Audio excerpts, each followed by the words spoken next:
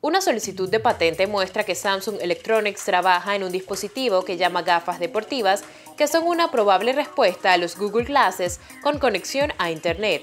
La solicitud de una patente de diseño ante la Oficina de Propiedad Intelectual de Corea del Sur muestra que Samsung ha diseñado unos lentes que se conectan con teléfonos inteligentes para mostrar información del teléfono. La solicitud dice que el aparato toca música, recibe llamadas telefónicas y ofrece control manos libres sobre el aparato. Google Inc. está probando una versión de Google Glass entre 10.000 personas en Estados Unidos.